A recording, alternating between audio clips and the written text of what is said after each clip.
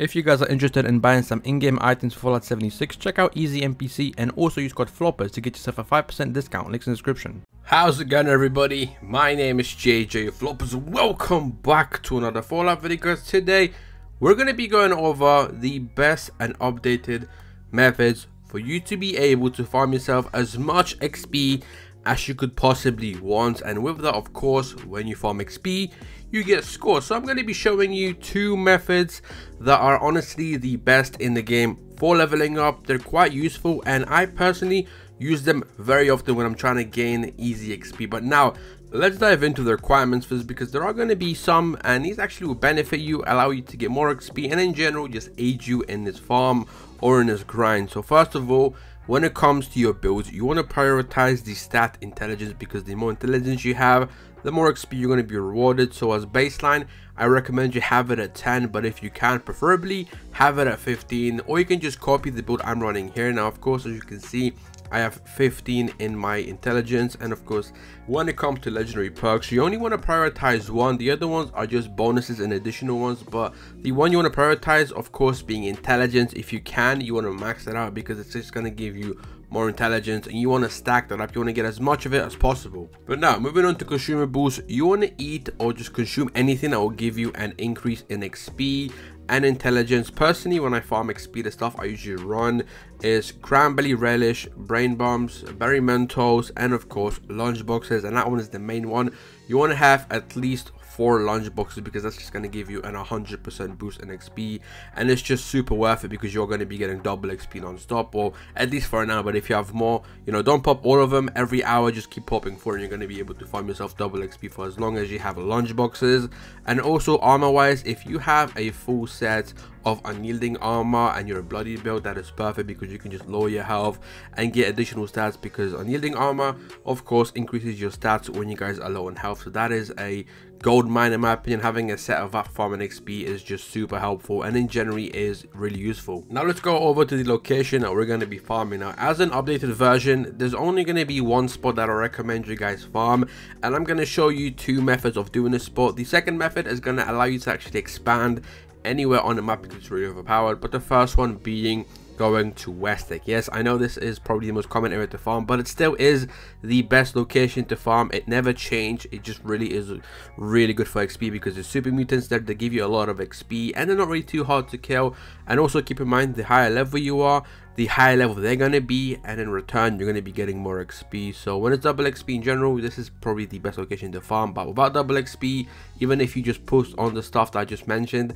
you're still going to be gaining a good amount of xp so you want to come here you want to clear this entire area out you want to kill all the enemies outside you want to head inside, do the exact same thing, just execute every single enemy. There's a bunch of rooms, a bunch of enemies, you want to kill them. Now, there is a way of being able to actually farm this without having to leave the lobby, and this will probably only be doable for some of you, specifically those who actually done the mission for this area when the actual update for this area first came out. So if you've done the quest base for this area as early as the DLC has come out, you're going to be able to go down this elevator, wait about 10-20 seconds. Oh yeah keep in mind there's going to be enemies there so you want to kill them wait about 10-20 seconds go back up and the enemies should have respawned if they haven't respawned then unfortunately you are to have to leave the lobby and rejoin i'm not too sure exactly how the respawn works now but previously when i was doing it if you did the mission for this area early on you were able to actually you know have this be an actual respawn area but now it's been patched so only some of you will have the ability to actually be able to go down the elevator and have the enemies respawn but if you don't have the ability, just leave the lobby, rejoin and keep farming this. It's really simple. It's honestly the best place to farm for XP. Now there is a second method that can be done in this area. And in my opinion, it is the best one. Now there is one quite specific requirement for you to have a specific item and it being the nuka grenade. Now keep in mind, you can do this with any other grenade, but if you want to be really efficient, the nuka grenade is probably the best one to use for this. Now there are going to be some perk requirements for this.